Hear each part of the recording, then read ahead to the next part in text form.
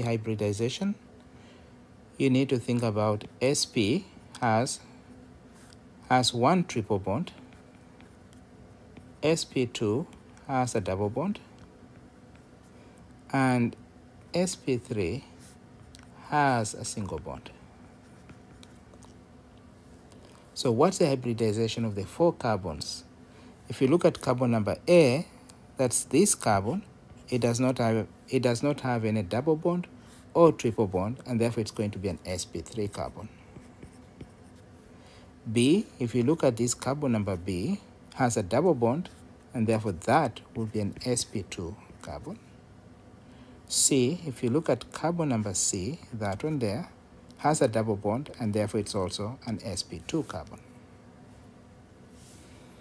And while we are still at this structure, this carbon will also be sp2. This oxygen, because has a double bond, will